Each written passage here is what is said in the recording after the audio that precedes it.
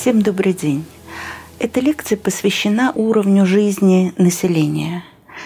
Термин «уровень жизни» мы часто встречаем в газетах, в телевизионных передачах, в программах разных политических партий или кандидатов на выборы разных уровней власти.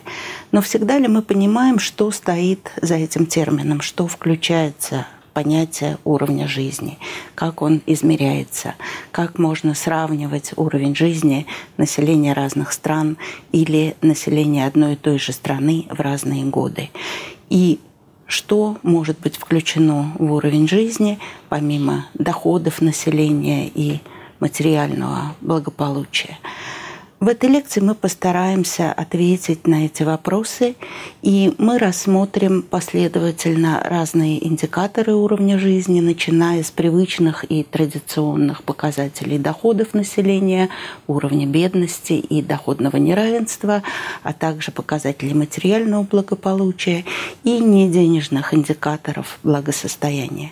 И мы завершим эту лекцию обсуждением более нового и современного подхода к оценке уровня жизни, который включает также показатели субъективного благосостояния или удовлетворенностью жизни населением страны. Итак, мы начинаем с определений основных показателей уровня жизни и посмотрим, какова динамика этих показателей.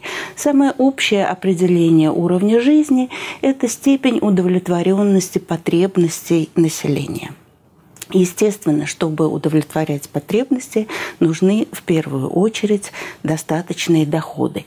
Поэтому э, традиционным, наиболее часто употребляемым международной статистики и в разных странах мира показателем а, уровня жизни являются доходы населения.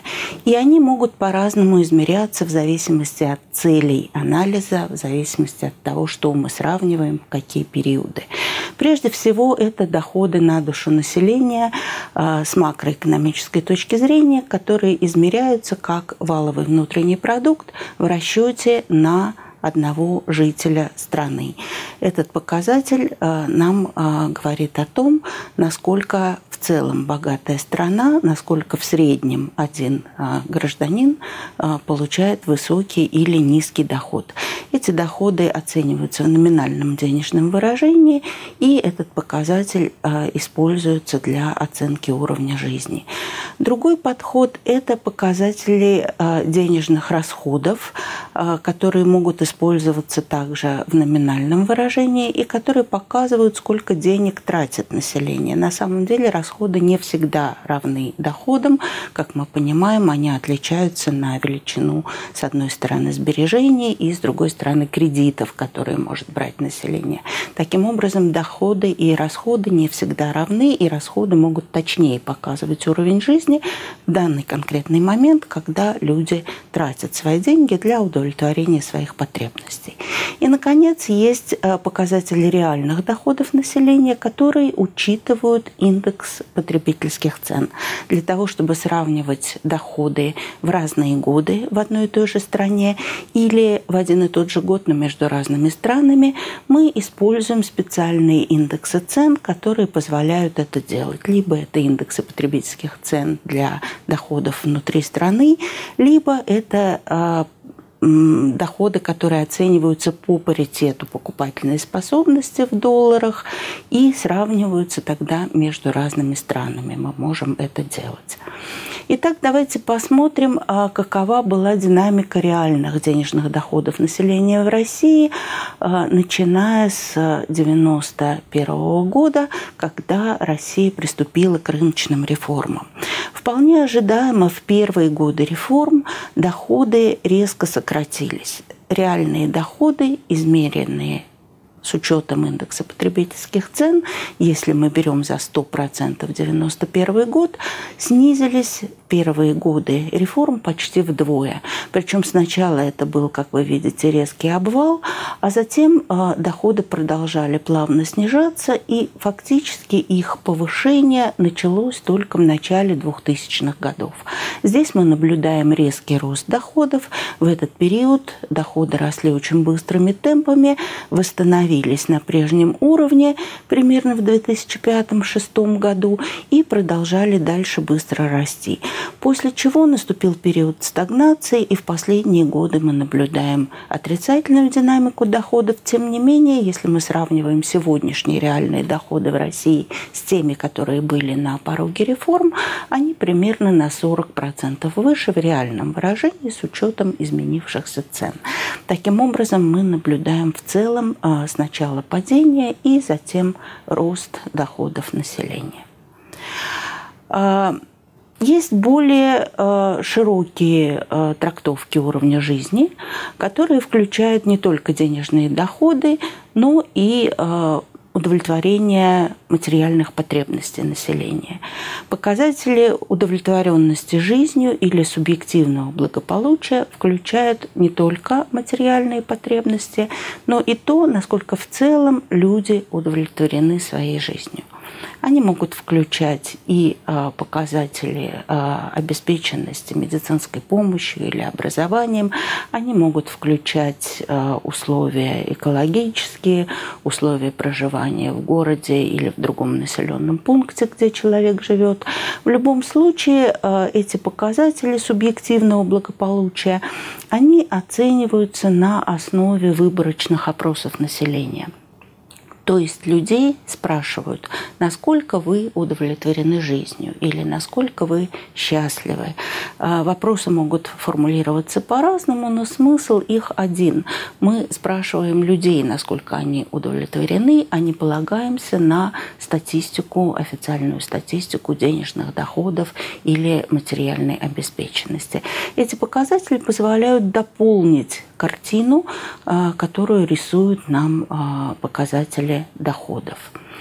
А, в оценках уровня жизни очень часто встречается такой показатель, как бедность, бедность населения. А, кажется, что это показатель довольно простой, и тем не менее а, он не так прост, потому что а, возможны разные подходы к измерению бедности.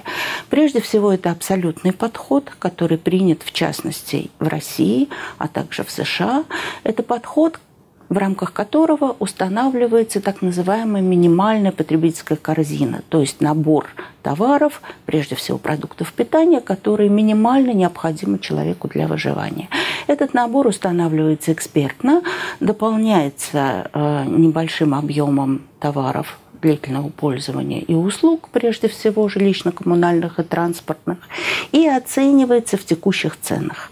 Таким образом, мы получаем э, прожиточный минимум населения или черту бедности, установленную с помощью абсолютного подхода.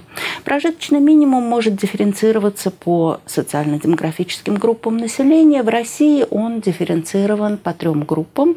Есть прожиточный минимум для несовершеннолетних детей, для трудоспособного населения и для населения в пенсионном возрасте. Кроме того, прожиточные минимумы различаются и существенно различаются по регионам за счет разницы региональных цен, поскольку э, все эти наборы оцениваются в тех ценах, которые действуют в регионе. Сами наборы потребительские товаров и услуг также различаются по регионам в силу различий, прежде всего, природно-климатических условий. Таким образом, мы имеем в России а, прожиточные минимумы, отдельные для каждого региона и внутри региона для трех а, возрастных групп. А другой подход к измерению бедности – это относительная бедность, которая предполагает, что мы устанавливаем черту бедности а, статистически. То есть мы измеряем распределение доходов в обществе, и от среднего медианного значения доходов мы берем либо 50, либо 40 процентов, в некоторых странах 60 процентов, и называем это чертой бедности. Такой подход в частности, применяется в большинстве западноевропейских стран. И понятно, что при этом подходе э, бедность, вообще говоря, неудалима, потому что мы не можем добиться абсолютно равномерного распределения доходов. Всегда будет где-то медиана, всегда будет от нее половина, и всегда будет определенная доля людей, живущая за этой чертой. Такой подход э, интересен тем, что он учитывает именно распределение доходов в обществе, как живет большинство людей, и от этого выводит черту бедности. И, наконец, э, есть э, такой интересный подход к измерению бедности, как субъективная бедность, когда людей спрашивают о том, как они ощущают себя, ощущают они себя бедными или нет. То есть их просят поставить себя на определенную ступеньку доходной лестницы, допустим, от первой до девятой, где на первой стоят самые бедные, а на девятой самые богатые. И человек ставит себя на определенную ступень, допустим, он говорит, что он на второй ступени или на четвертой, и при этом мы должны нормативным образом задать черту бедности, то есть сказать, что первая и вторая ступень – это бедные, а третья уже не бедные. Или первая, вторая, третья – бедные, а четвертая уже не бедные. Естественно, в зависимости от того, где мы проводим эту черту, мы получаем разные результаты. Но, как правило, субъективная бедность оказывается выше, чем бедность, измеренная по э, формальным индикаторам денежных доходов. Людям чаще свойственно ощущать себя бедными, особенно в ситуации высокого неравенства, когда их огружают другие члены общества с очень высокими доходами. Тогда, как правило, субъективная бедность оказывается выше. Вот индикаторы уровня бедности в России и в других странах мира, в частности, э, оцененные с помощью так называемой международной черты бедности, которую э, применяет Всемирный банк. Всемирный банк считает бедными людей, которые живут на 2 доллара в день и меньше. И вы видите, что а, международная черта бедности и бедность, измеренная по национальным а, определениям, может существенно отличаться. И более того, она очень отличается между разными странами, в частности, именно из-за того, что страны применяют разные определения. Поэтому к этим показателям надо относиться с осторожностью. Итак, мы поговорили о бедности и э, рассмотрели основные показатели бедности, а в следующей части лекции мы обсудим другой показатель уровня жизни, также основанный на доходах, показатель неравенства денежных доходов населения.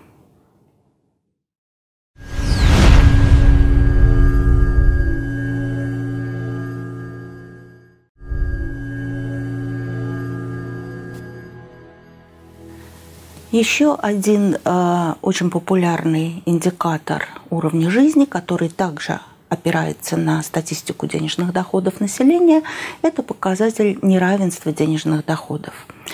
А, неравенство денежных доходов может измеряться по-разному. Наиболее известный измеритель – это так называемый коэффициент Джини.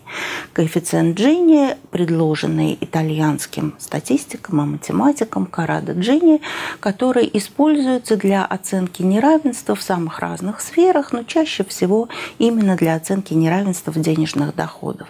Смысл этого индикатора в том, что он показывает, насколько реальная распределение доходов в обществе отклоняется от так называемого абсолютного равенства. Если мы представим себе, что в обществе все его члены получают абсолютно одинаковые доходы, коэффициент Джини будет равен нулю или 0%. Если мы представим себе другую гипотетическую ситуацию, что в обществе есть один человек, который получает весь совокупный доход, а все остальные имеют нулевые доходы, тогда коэффициент Джини равен единице или 100%. Понятно, что обе эти гипотетические ситуации нереальны. На самом деле, как правило, в обществе этот коэффициент меняется от 20 с чем-то до 50-60%. Чем больше величина коэффициента, тем больше неравенства в экономике. А, этот коэффициент удобен тем, что он является безразмерным, он не зависит от абсолютной величины доходов, и поэтому он может использоваться для сравнений как во времени, так и в пространстве. В рамках одной страны в течение нескольких лет или месяцев мы можем сравнивать, как меняется неравенство. И между странами, между разными странами мира мы также можем сопоставлять неравенство с помощью этого коэффициента. Другой измеритель, несколько менее популярный, но тоже часто встречающийся в экономике, в статистике, это так называемый коэффициент фондов, который показывает, насколько отличаются доходы самой богатой части населения, 10% или верхнего децеля по доходам, от доходов самого нижнего децеля 10% самого бедного населения. Средний доход верхнего децеля делится на средний доход нижнего децеля, и мы получаем таким образом фондовый коэффициент. Он измеряется, как правило, в разах и также является безразмерным показателем. Вот если мы посмотрим на э, эту э, таблицу, здесь представлены у нас данные по коэффициентам Джини в разных странах мира. Это э, данные Всемирного банка из э, базы World Development Indicators. Они показывают нам, в частности, что э, коэффициент неравенства меняется в зависимости от того, о какой стране мы говорим. А, как правило, тенденция такая, что в странах с патерналистской экономикой, в странах, где государства перераспределяют значительную часть ВВП через государственный бюджет, неравенство доходов ниже. Мы видим в этой таблице пример таких стран. Это скандинавские страны традиционно. Здесь есть а, Швеция, здесь есть Норвегия. И Нидерланды ближе к ним тоже, поэтому этому показателю. И наоборот, э, в странах развивающихся экономик, в странах, где государство менее развито, где оно меньше перераспределяет, уровень неравенства всегда выше. Мы видим здесь в этой таблице страны Латинской Америки, э, Мексика, Аргентина, мы видим здесь э, Гана, как представитель африканских стран с очень высоким неравенством. Россия, э, как видно в этой таблице, попадает где-то примерно в середину. Россия страна с не очень высоким, но и не низким неравенством, примерно средним. Вместе с тем, э, к этим цифрам надо относиться с определенной осторожностью, потому что неравенство измеряется во многих странах по-разному, э, прежде всего потому, что э, для измерения неравенства очень трудно оценить доходы самой высокодоходной группы населения. Неравенство оценивается на основе опросов домохозяйств, которые отвечают о своих доходах и расходах. И в этих опросах, как правило, не участвуют самые богатые члены общества. И э, есть специальные техники для того, чтобы дооценивать доходы этих людей с помощью налоговой статистики, с помощью статистики покупки дорогой недвижимости или валюты. И э, надо понимать, что результирующие оценки, они, в общем, могут сильно разнится в зависимости от используемых методик, поэтому к этим цифрам надо относиться с определенной осторожностью. Этот слайд э, демонстрирует, как менялись уровни бедности и доходного неравенства в России с началом рыночных реформ. И в частности, как соотносятся эти два показателя. Мы видим, что в 1991 году, когда Россия только приступила к рыночным реформам, уровень бедности был невысок, всего 4%, а коэффициент Джини 26% э, делал Россию близкой к странам э, Западной Европы населения термин уровень жизни, что неудивительно, поскольку Россия э, произошла из СССР, где был высокий уровень перераспределения доходов. Но мы видим также, что э, вот уже в 1995 году доля бедного населения увеличилась почти до 25% и резко вырос коэффициент Джинни и фондовый коэффициент, то есть возросло неравенство.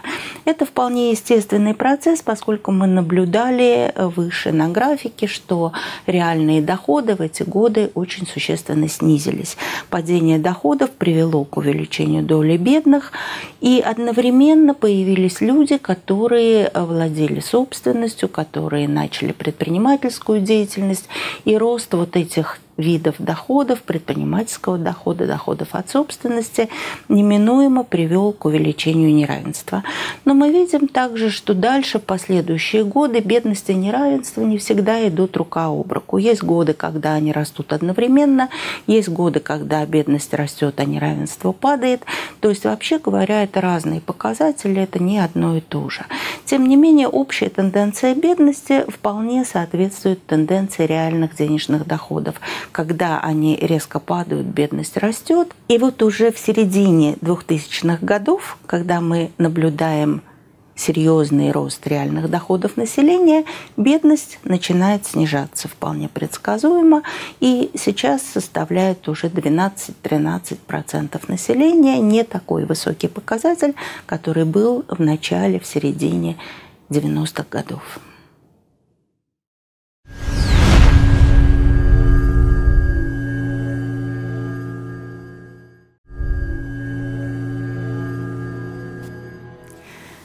Чтобы понимать, э, откуда происходит бедность и доходное неравенство, надо прежде всего выяснить, из чего состоят денежные доходы населения, каковы их составляющие, какова их структура и какова динамика этой структуры. А, прежде всего, э, мы можем разделить все доходы населения на две большие группы, а именно рыночные и нерыночные доходы. Рыночные доходы – это все доходы, которые получает человек от тех ресурсов, которыми он обладает, и, соответственно, обладанию этими ресурсами он получает определенный доход на рынке. Вот здесь представлены слева рыночные доходы, среди которых прежде всего это заработки, то есть это доход, который приносит человеку его человеческий капитал. Человеческим капиталом мы называем возможности, умения, квалификации, навыки человека, которые зависят в том числе от его образования, производственного опыта. Это все, что дает ему возможность быть работником на рынке труда и получать оплату своего труда или заработок. Помимо этого есть другие элементы капитала. Это капитал физический, это капитал финансовый. И те люди, которые обладают этими элементами капитала, могут, соответственно, получать на рынке, доходы от предпринимательской деятельности, если они являются предпринимателями, и доходы от собственности, среди которых акции, облигации, банковские вклады, недвижимость, все это может также человеку приносить определенный доход. Это рыночные доходы. Помимо них существуют нерыночные доходы. Вот здесь справа они на слайде обозначены. И нерыночные доходы – это прежде всего государственные социальные трансферты.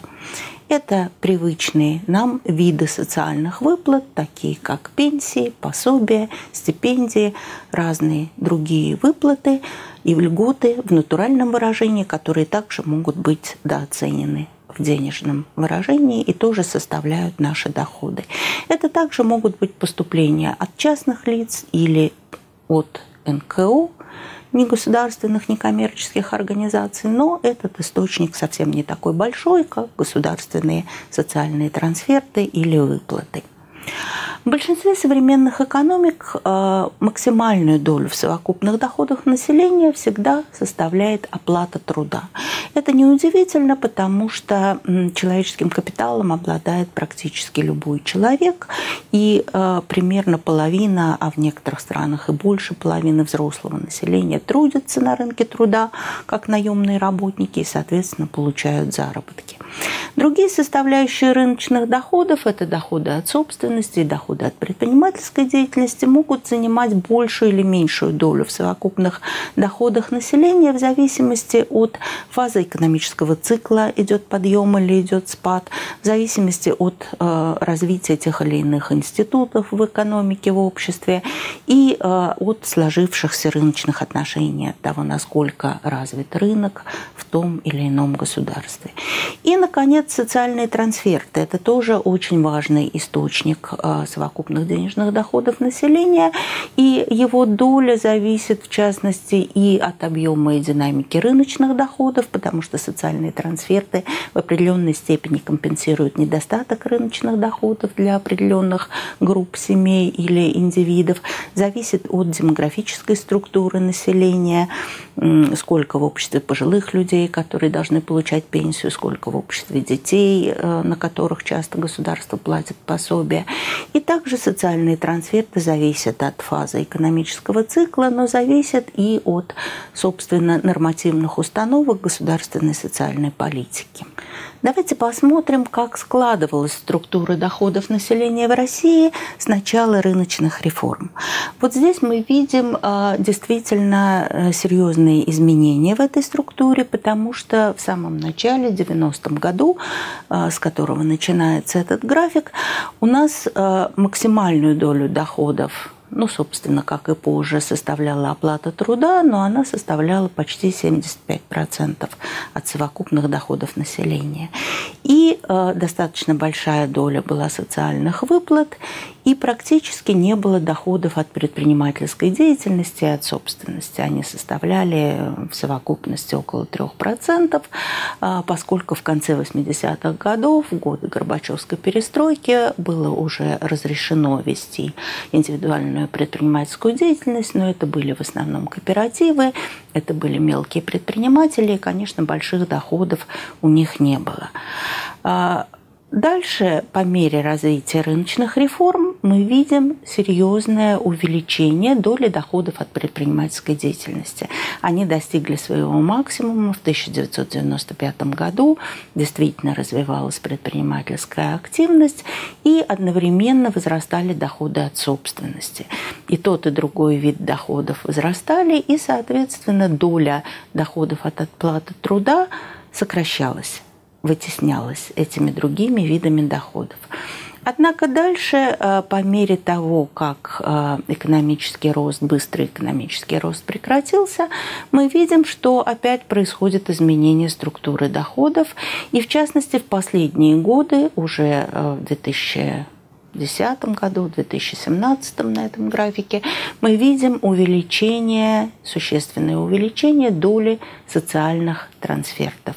Опять увеличивается доля заработной платы, существенно снизились доходы от предпринимательской деятельности и доходы от собственности, и э, социальные трансферты заместили выпадающие доходы, то есть их доля сегодня э, практически такая же, как была постсоветской России в первые годы реформ. Социальные трансферты сегодня занимают даже большую долю, чем они занимали в 1990 году.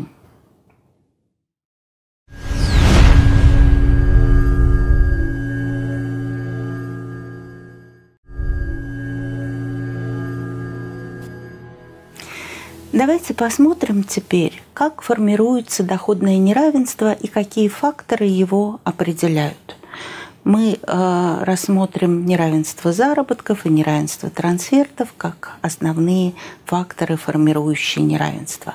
Но прежде всего давайте обратимся еще раз к схеме, которая показывает нам, как, собственно, формируется совокупный доход семьи. Важно понимать, что когда мы оцениваем неравенство денежных доходов населения, конечный показатель, который мы рассматриваем, это совокупный денежный доход семьи на душу. То есть мы должны понять, из чего складывается этот совокупный денежный доход, почему у разных семей он разный, и почему мы получаем разные среднедушевые денежные доходы, которые так существенно отличаются между самыми бедными и самыми богатыми. Итак, прежде всего, люди получают определенные рыночные доходы, среди которых, как мы уже сказали, заработки на рынке труда, которые зависят от ставки заработной платы, зарплаты, которую получает работник, и от того, какие часы он работает. Работает он полный рабочий день, полную рабочую неделю, или он работает, как мы говорим, на полставки, или наоборот, он работает на двух работах, то есть имеет вторичную занятость. В зависимости от этого заработок его будет выше или ниже. Кроме того, есть другие рыночные доходы, как мы уже говорили, это возможные доходы от предпринимательской деятельности или от собственности. Они есть не у всех, поэтому в каких-то семьях есть такой источник доходов, в других семьях его нет. И эти доходы, естественно, тоже очень сильно дифференцированы в зависимости от того, какой собственностью обладают члены этой семьи, в зависимости от того, какая предпринимательская деятельность ими ведется, если она есть. Итак, откуда берется неравенство? Прежде всего, э, совокупный доход домохозяйства зависит э, от рыночных доходов и зависит от заработной платы, потому что заработная плата – это самая серьезная составляющая э, рыночного дохода. То есть есть большое число факторов. Это зарплата, это предпринимательский доход, это социальные трансферты. И э, в зависимости от доли членов домохозяйства, имеющих или не имеющих самостоятельный доход, эта семья может получать социальные трансферты в большем или меньшем объеме. Есть в семье дети, есть в семье пенсионеры, соответственно, семья будет получать трансферты. Они могут зависеть таким образом и от статуса занятости разных членов семьи, и от того, сколько в этой семье иждивенцев.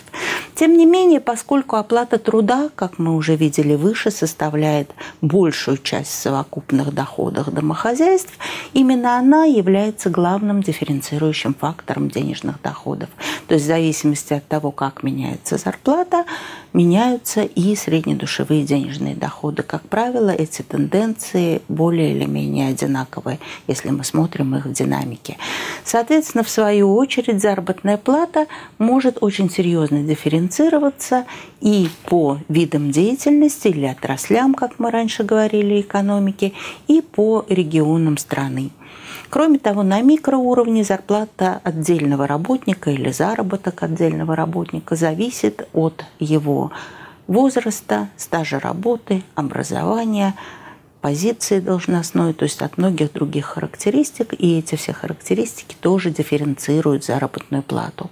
Вот только для примера мы можем посмотреть, как отличались заработные платы в экономике, в среднем по экономике и для отдельных отраслей экономики в 2018 году в ноябре мы видим, что средняя по экономике равна примерно 43 тысячи рублей, тогда как заработная плата в сфере добычи нефти и природного газа составляла а, больше 100 тысяч. И наоборот, в образовании заработная плата 35 тысяч, что ниже, чем в среднем по стране. Разрывы очень большие. Самая низкая заработная плата традиционно в сельском и лесном хозяйстве. Самые высокие заработки у нас а, в нефтяной отрасли, в финансах. И точно так же мы можем видеть очень существенные различия в заработных платах по регионам. Опять при той же средней около 43 тысяч мы видим, что есть регионы, например, Магаданская область, где средняя заработная плата больше 100, и есть регионы Алтайский край, Саратовская область, где средняя заработная плата 26. Таким образом, вот эти региональные и отраслевые различия заработков трансформируются в неравенство денежных доходов семей, поскольку основные доходы доходы в семьях – это именно заработная плата. Наконец, помимо заработков, размер и состав семьи и ее демографические характеристики, как мы уже говорили, во многом определяют получение или не получение социальных трансфертов от государства, видов этих социальных трансфертов, их размеров.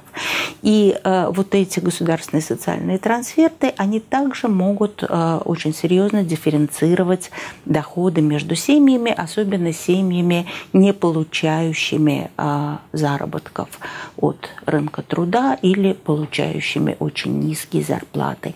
Например, наличие членов семьи, достигших пенсионного возраста, однозначно э, говорит о том, что в этой семье будут получать пенсии. Наличие детей разных возрастов означает, что эта семья имеет право на получение пособий на ребенка или так называемых семейных пособий. Наличие трех и более детей означает, что семья будет получать специальные пособия пособия или льготы, э, положенные многодетным семьям и так далее. То есть социальные трансферты при прочих равных условиях могут сглаживать доходы, увеличивая доходы тех семей, чьи э, рыночные доходы не высоки. Вот давайте посмотрим, что происходит с социальными трансфертами на примере выплат домохозяйствам, имеющим детей.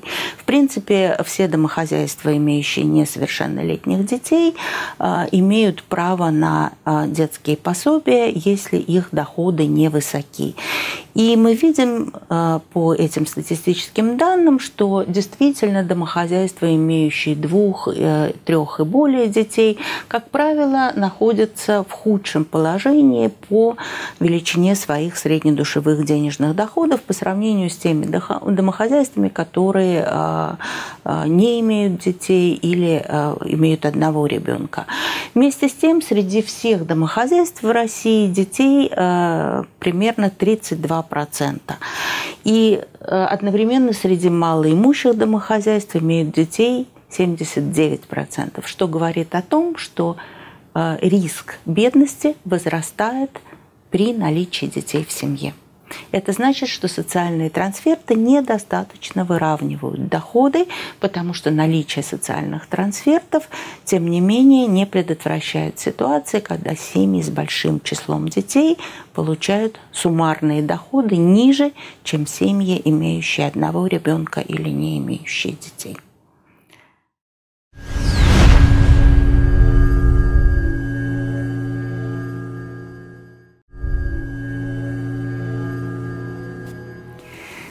Помимо показателей денежных доходов населения и их структуры, неравенства доходов, бедности, существуют и другие индикаторы, которые тоже могут помочь оценить уровень жизни населения. Это в первую очередь структура расходов населения и владение имуществом. У человека есть разные потребности, и в зависимости от того, каков его уровень дохода – он удовлетворяет те или иные из них в первую очередь, а другие потребности потом. Принято считать, что основные потребности человека – это потребности в пище, в одежде, в крови над головой. И поэтому доля расходов на продукты питания считается одним из показателей уровня жизни. Если у человека низкий доход, то он волей-неволей большую его часть тратит просто на еду и на какие-то минимальные потребности, услуги или товары длительного пользования. По мере роста дохода люди, как правило, большую долю своих расходов начинают тратить на товары длительного пользования, на услуги, на предметы роскоши – и по этим долям мы можем судить о том, насколько бедна или богата та или иная семья и насколько бедна или богата та или иная страна. Давайте посмотрим на структуру использования денежных доходов в России, как она складывалась и как она менялась в динамике, начиная с начала 90-х годов. Вы видите, что на рубеже рыночных реформ в 1991 году у нас э, определенная часть расходов, достаточно большая, порядка 60 с небольшим процентов, шла на покупку товаров и оплату услуг. Большая доля денежных средств расходовалась населением на сбережения, то есть инвестировалась. Достаточно большая доля денег, которые поступали домохозяйствам – шла на прирост денег на руках у населения. Так называет эту статью Росстат. Это означает буквально, что люди наличные деньги хранили дома, под подушкой, как мы говорим. Когда начались рыночные реформы и случился обвал реальных денежных доходов населения, структура расходов, как вы видите, радикально изменилась. Мы видим, что уже в середине 90-х годов, во-первых, увеличивается доля расходов на товары и услуги, что говорит о растущей бедности, безусловно. Резко сокращается доля сбережений.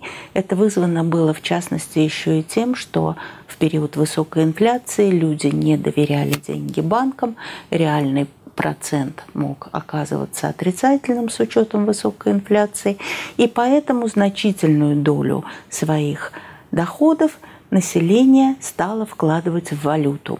Вы видите здесь вот этот э, кусок на графике фиолетовый, который показывает резкое увеличение доли покупки валюты. То есть население вместо того, чтобы нести деньги в банке и вместо того, чтобы хранить их дома в рублях, покупало валюту. Это были доллары тогда. И это был э, некий такой... Механизм а, сохранения денежных средств, который фактически заменил официальные сбережения. Дальше мы видим, что по мере экономического роста середине 2000-х годов. Доля расходов на покупку товаров и оплату услуг снижается вполне предсказуемо, и опять начинает расти доля сбережений. То есть ситуация в некоторой степени нормализуется, доля денег, которая идет на покупку валюты, уменьшается и стабилизируется на невысоком уровне, и прирост э, денежных средств на руках у населения, то есть рублевой массы, также сокращается. То есть здесь ситуация выравнивается, но одновременно мы видим, что э, уже в середине 2010-х годов у нас снова увеличивается доля расходов на покупку товаров и оплату услуг, что э, означает некоторый рост бедности, который, собственно, мы наблюдали и выше, когда видели индикаторы бедности. Точно так же структуру использования денежных средств можно сравнивать между отдельными группами населения и видеть, как эта структура отражает бедность или богатство. Здесь на этом слайде для примера представлены расходы а, бедных и богатых групп населения нижнего децеля. Первый децель – это самая бедная 10% группа населения. И десятый децель – самая богатая 10% группа населения мы видим, как существенно здесь различаются расходы. В первую очередь расходы на питание, которые у бедных составляют почти половину, 48%, а у богатых э, составляют значительно меньше. И наоборот, э, расходы, скажем, так называемые транспортные расходы, а, которые включают в том числе покупку транспортных средств, то есть автомобилей, в богатых семьях а, в разы превышает расходы в бедных семьях. В богатых семьях также выше расходы на а, культуру, на разного рода развлечения, гостиницы, рестораны. В бедных семьях эти расходы составляют мизерную долю. То есть мы видим по этим структурам мы не видим абсолютных значений доходов в денежном выражении, но структура нам говорит о том, что бедные тратят больше на питание, а богатые тратят больше на необязательные статьи расходов. Это тоже один из показателей уровня жизни. А, интересно посмотреть на Россию а, в этом смысле в контексте международных сопоставлений. Если мы а, поглядим, какая доля тратится населением России в целом на продукты питания, это 23%, и сравним эту долю с другими странами, мы видим, что она выше не только по сравнению, скажем, с Германией или Великобританией здесь в этой таблице, но и с Польшей и Латвией, теми странами, которые ближе к России по уровню развития.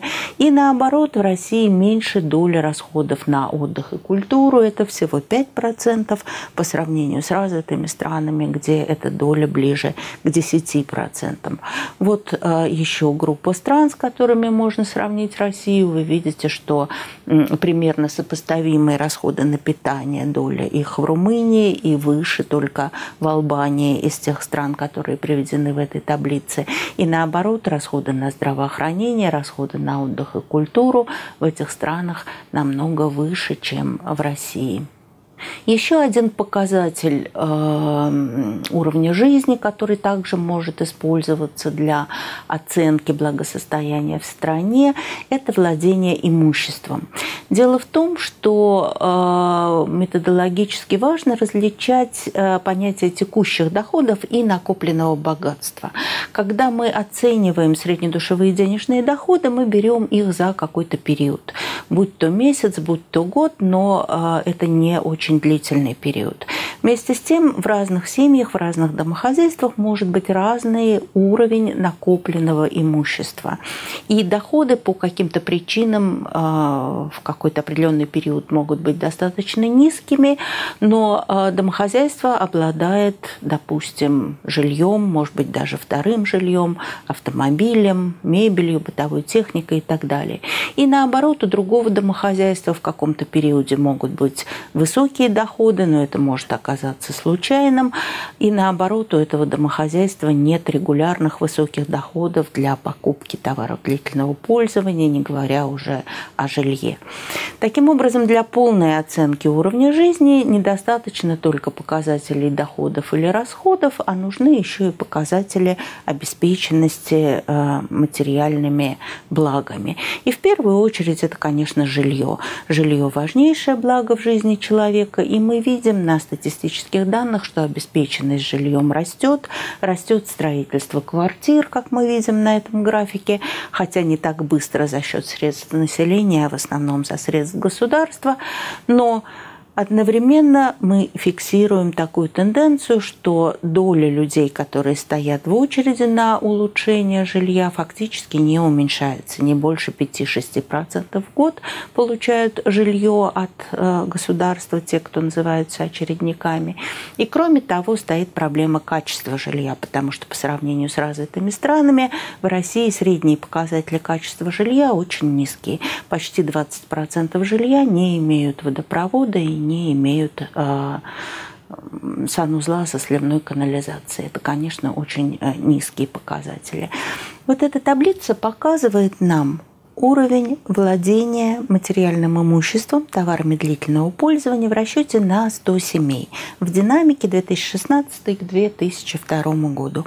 И мы видим, что здесь практически по всем показателям а, доля накопленного имущества в российских семьях растет. Это особенно очевидно на примере автомобилей и персональных компьютеров, потому что здесь действует эффект низкой базы. Мы начинали в 90-е годы с того, что легковые автомобили были роскошью в России, российских семьях, а персональных компьютеров, скорее всего, не было вовсе. Поэтому сегодня мы имеем достаточно быстрый рост по этим показателям. И в целом показатели э, накопления имущества год от года растут, что говорит о растущем уровне жизни российского населения.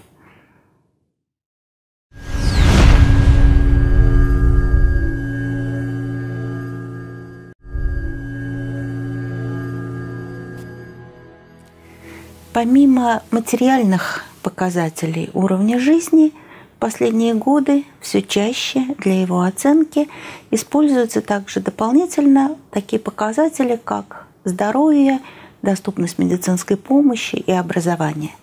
Это также очень важные блага в жизни человека, и доступность этих благ э, часто не зависит от показателей среднедушевых доходов тех или иных семей, поскольку эти блага предоставляются государством, мы называем их общественными благами.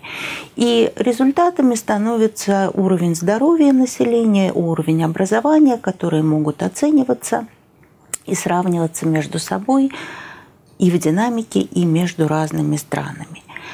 Если мы говорим о здоровье населения, Традиционные показатели здоровья – это показатели заболеваемости, которые предоставляет Росстат. Это показатели медицинской статистики, и рассчитывается заболеваемость в расчете на 10 тысяч населения по отдельным классам заболеваний. Однако это не очень надежный показатель, поскольку заболеваемость предоставляется медицинской статистикой, то есть самими учреждениями здравоохранения, и таким образом она показывает нам на самом деле, сколько людей обращается в медицинские учреждения и проходит обследование и получает тот или иной диагноз. Чем больше людей пришло, тем больше будет заболеваемость и наоборот. Поэтому понятно, что заболеваемость на самом деле зависит от доступности медицинской помощи, и в разных регионах эта доступность разная. Живет человек в городе, или он живет в сельской местности, живет он в урбанизированном регионе, или в регионе с большой пространственной протяженностью, где трудно добраться до большого города, где есть э, медицинские центры. И, соответственно, разные уровни заболевания мы получаем просто потому, что обеспеченность медицинскими учреждениями не одинаковая, неравномерная. В разных странах мира и в России тоже используют для оценки здоровья показатель ожидаемой продолжительности предстоящей жизни при рождении. Этот показатель фактически является синтетическим, потому что он отражает сложившиеся уровни смертности в разных полувозрастных группах от разных заболеваний, от разных причин. И эти сложившиеся уровни смертности как раз и определяют ожидаемую продолжительность предстоящей жизни при рождении каждого следующего а, поколения.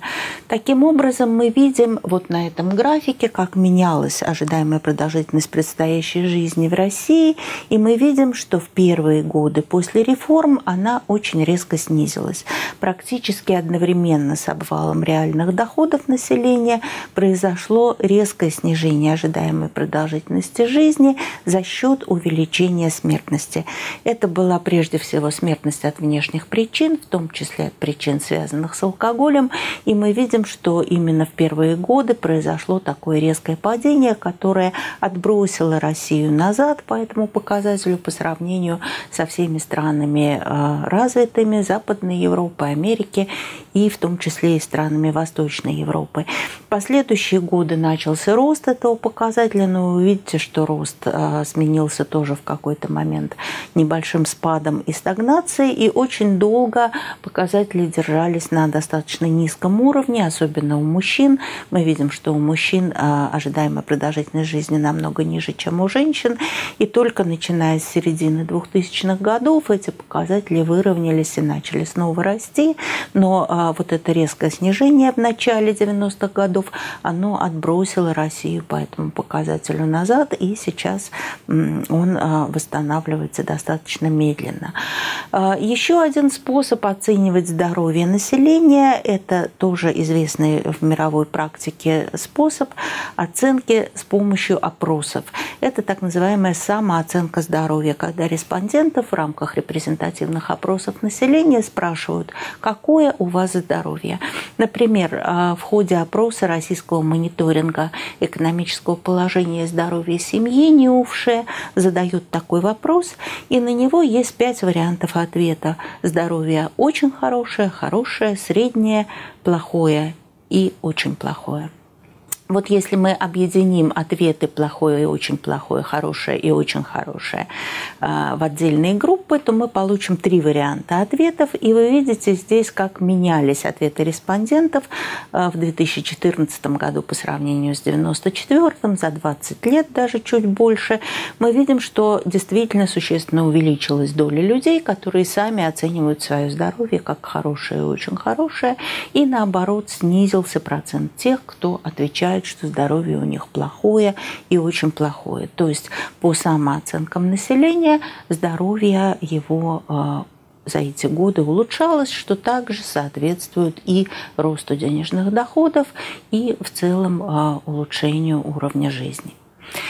Второй показатель э, в этой группе не материальных, не денежных индикаторов уровня жизни – это охват населения образованием.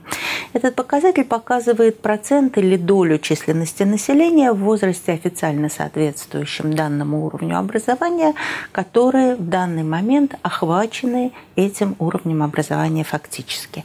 Вы видите, в некоторых странах и в некоторые годы этот процент оказывается больше 100. Это означает, что на соответствующей ступени образования учатся дети, дети, которые формально не соответствуют вот этому официально установленному возрасту. Например, если ребенок идет в школу раньше, чем полагается в первый класс, то он попадает вот в эти проценты, и оказывается, что их 103, скажем, как в России в начальном образовании, просто потому, что этот ребенок не входит в соответствующую возрастную группу. Вы видите, что если сравнивать Россию с другими странами, на самом деле у нас а, очень хороший охват высшим образованием. Именно этим отличается Россия постреформенные годы, поскольку образование у нас сейчас действительно получает значительная часть населения, и высшее образование доступно не только в форме а, бюджетных мест, но и в форме коммерческого образования. И численность студентов за 90-е а, годы очень резко увеличилась в нашей стране. Сегодня мы имеем охват высшим образованием 84%, что в сравнении с другими странами, даже с похожим уровнем развития, ставит Россию на достаточно высокие места. Вы видите здесь, вот в этой таблице, если сравнивать Россию с э, такими странами, как Великобритания э, или Франция, э, доля молодых людей, которые получают высшее образование, выше в России. И это выводит Россию вперед, в частности, а, при международных сопоставлениях, когда рассчитывается так называемый индекс человеческого развития. Индекс человеческого развития, ИЧР или HDI, Human Development Index, это такой синтетический показатель, который использует Организация Объединенных Наций для сравнения между собой уровня жизни в разных странах мира. В этот показатель а, входит входит три компонента. Во-первых, это доходы, то есть валовый внутренний продукт на душу населения в долларах по паритету покупательной способности на соответствующий год. Это индекс образования, который учитывает среднюю ожидаемую продолжительность образования. И показатель здоровья именно средняя ожидаемая продолжительность жизни при рождении, о котором я уже говорила. Вот с учетом этих трех компонентов формируется синтетический индекс, и по величине этого индекса Россия устойчиво входит в группу стран с очень высоким индексом человеческого развития. Но надо сказать, что э, в этой группе она, тем не менее, пропускает вперед себя многие страны Восточной Европы и страны Балтии, в первую очередь именно потому, что у нас э, все еще относительно низкая ожидаемая продолжительность жизни. То есть по э, образованию мы многие страны опережаем, а вот по ожидаемой продолжительности жизни, наоборот, мы отстаем. В результате по э, совокупному индексу мы находимся в первой группе, но где-то в конце этой первой группы.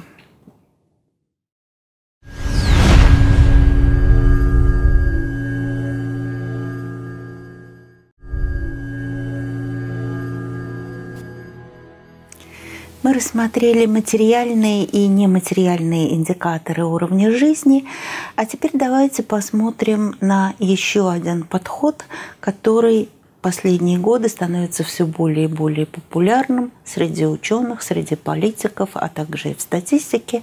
Это подход со стороны субъективного благополучия, подход, который оценивает субъективную удовлетворенность жизнью. Дело в том, что показатели благосостояния, традиционно применяемые в статистике, в экономике и прежде всего показатели денежных доходов, не всегда однозначно, не всегда точно определяют, насколько люди сами чувствуют себя благополучными. То есть оценки людей, когда их спрашивают об их благосостоянии, об их субъективном благополучии, могут расходиться с показателями официальной статистики.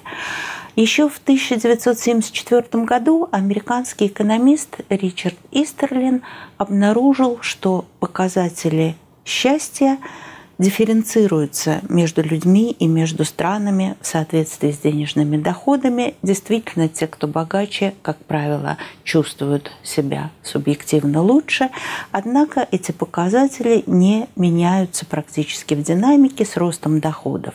Этот факт назвали в экономике парадоксом Истерлина.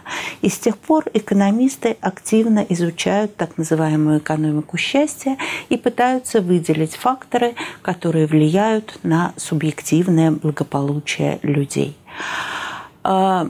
Если э, мы хотим оценить субъективное благополучие и каким-то образом включить его в наши оценки уровня жизни, нам нужно для этого опираться на данные социологических опросов. Сегодня таких опросов достаточно много, и э, в частности российский мониторинг экономического положения и здоровья населения, который проводит НИУФШЕ регулярно, ежегодно, э, включает в себя такой вопрос, респондента спрашивают о том, насколько вы удовлетворены своей жизнью в целом в настоящее время. И респондент может дать один из денежных доходов. Полностью удовлетворен, скорее удовлетворен, и да, и нет – то есть средний уровень, не очень удовлетворен или совсем не удовлетворен. Если мы придадим этим ответам соответствующие значения, скажем, совсем не удовлетворен единица, а полностью удовлетворен 5, то мы получим значение субъективного благополучия по стандартной пятибалльной шкале, как отметки в школе, и можем посмотреть, как меняется субъективное благополучие российских граждан по годам, как оно меняется с возрастом и в зависимости от разных других факторов. В частности, вот такие оценки были сделаны на данных российского мониторинга экономического положения и здоровья населения. Здесь представлены на этом графике для примера только три года, начиная с 2000 и до 2012, и показано, как менялись субъективные оценки людей людей своего собственного благополучия в зависимости от возраста. Красными линиями обозначены женщины, а синими линиями мужчины. Здесь видно совершенно отчетливо, что, во-первых, э, субъективное благополучие или счастье человека снижается с возрастом постепенно от самых молодых лет к средним и зрелым. И только после этого уже в пожилом возрасте начинает возрастать и у мужчин, и у женщин. У мужчин, как правило, субъективное благополучие выше, чем у женщин. Это тоже видно. И также видно, это важный вывод на этих графиках, что начиная с 2002 по 2012 год, и на самом деле и во все промежуточные годы, они здесь не представлены за неимением места, э, средний уровень э, субъективного благополучия год от года возрастает. То есть эти графики сдвигаются снизу вверх. По вертикальной шкале мы а, откладываем индекс благополучия, который а, может меняться от единицы до пяти, как я уже говорила. Мы видим, что субъективное благосостояние российских людей растет. Мы можем посмотреть на динамику субъективного благополучия в России также с использованием других данных. Это данные широкого социологического опроса ценностей World Values Survey, в котором участвовало много стран мира, в том числе и Россия в некоторых волнах, и не во всех волнах опроса, но в трех из них, где участвовала Россия, задавался респондентам вопрос «Счастливы ли вы?». На этот вопрос э, респонденты могли ответить «Очень», «Вполне», не очень или совсем нет. И вы видите, что по годам оценки в России улучшаются. Людей, которые оценивают свое счастье высоко, становится все больше и больше, их всего 6% в первой волне в 95-99 году. И это неудивительно, потому что мы видели, что именно в эти годы снижались реальные доходы, увеличивалось неравенство, росла бедность населения. А дальше по годам доля тех, кто отвечает «очень» растет до 15%, доля тех, которые отвечают «вполне счастлив» также увеличивается, и, соответственно, снижается доля тех, кто считает себя несчастным. А, это же обследование позволяет нам посмотреть на место России в сопоставлении с другими странами мира. Вот а, на этой таблице выбраны для сравнения с Россией еще четыре страны. Две из них это страны с развитыми рыночными экономиками, Швеция и США. Чтобы понимать, э, США страна с либеральной экономикой, и Казахстан, и Польша, как представители постсоциалистических государств, Казахстан бывшая республика СССР, а сейчас страна, входящая в СНГ, и Польша как страна Восточной Европы, бывшая страна э, социализма. Мы видим, что э, во всех этих странах доля людей, которые говорят, что они очень счастливы, существенно выше, чем в России. И доля тех, кто называет себя вполне счастливыми, либо выше, либо примерно такая же, что означает, что Россия занимает не лучшую позицию в числе других стран мира, мира по субъективному благополучию, хотя мы видели, что по годам оно постепенно возрастает.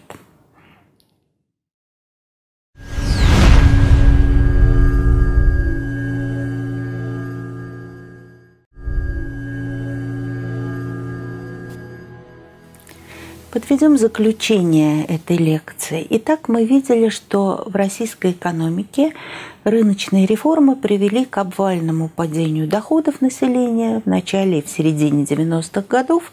Затем доходы начали быстро расти и в последние годы стабилизировались и несколько сократились. Мы видели также, что начало 90-х годов ознаменовалось очень быстрым ростом бедности и доходного неравенства. Доходное неравенство колеблется по годам, а бедность также колеблется в соответствии с динамикой реальных денежных доходов населения. Она выросла резко в начале 90-х годов, затем она сокращалась с ростом реальных денежных доходов. Сегодня мы имеем уровень бедности порядка 13%, достаточно стабильный. Мы видели также, что в структуре доходов населения ведущая роль отводится заработкам, и поэтому заработок является основным дифференцирующим фактором денежных доходов.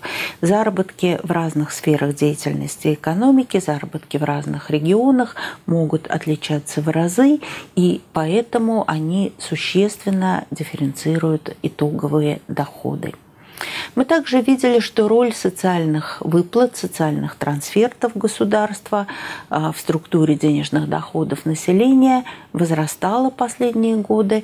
Эта роль достаточно высока, но вместе с тем эти доходы Э, трансфертные доходы не позволяют пока достаточно сглаживать бедность и неравенство. В частности, остается высоким риск бедности семей с детьми, которые имеют право на получение социальных выплат. Э, для российского населения в целом характерна структура расходов бедной страны. Мы большую долю своих доходов по-прежнему тратим на продукты питания. Эта доля расходов выше по сравнению не только с развитыми рыночными экономиками, но даже и со многими странами с таким же уровнем развития, как в России. У нас по-прежнему невысокая доля сбережений, хотя в последние годы они несколько выросли. Растет это обеспеченность населения товарами длительного пользования, имуществом. Однако, если говорить о жилье как о главном благе материальном в жизни человека, мы должны констатировать, что обеспеченность жильем пока у нас недостаточная, и доля людей, которые не могут приобрести жилье за собственный счет, из-за его высокой цены и из-за низких доходов по-прежнему высока. И высока доля тех, кто не обеспечен нормальными жилищными условиями. А показатели здоровья населения, как мы видели, улучшаются постепенно в последние годы, однако тот провал, который мы наблюдали в начале 90-х, в начале рыночных реформ, пока еще дает себя знать, поскольку а, показатели ожидаемой продолжительности предстоящей жизни растут не а, очень быстрыми темпами. Высокие показатели образования населения России позволяют ему удерживать а, высокое место в рейтинге стран по индексу человеческого развития. И, наконец, э, субъективное благополучие российских граждан, хотя и растет стабильно год от года, что тоже говорит о растущем уровне жизни, тем не менее по-прежнему остается ниже, чем в странах со сходным уровнем экономического развития.